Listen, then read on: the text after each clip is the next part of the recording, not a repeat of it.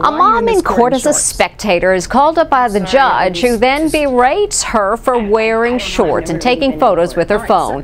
The judge even ordered the mom be put in cuffs, and social media is divided over whether or not the judge was out of line. It's an extraordinary scene in court. Excuse me, the lady. Excuse me? You, come forward. A no nonsense judge from Texas orders a spectator way in the back to step forward right now. First of all, why are you in this court in shorts? The woman is stunned. Sorry, I yup, was- she's wearing shorts. I'm sorry, I was just, I, I, I don't know, I've never really been in court. All right, second of all, turn your pho- phone over to the deputy. Do not close it. Uh, Deputy Laura, if you'll delete whatever photo she took, please. Who are you taking photos of? Oh, I was just letting my daughter know my son was okay and that he. No, my question is, who are you taking photos of?